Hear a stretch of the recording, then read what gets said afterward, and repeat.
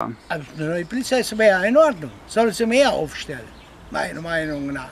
Die sollen fahren anständig und dann passiert ja nichts. Ist ja so, oder nicht?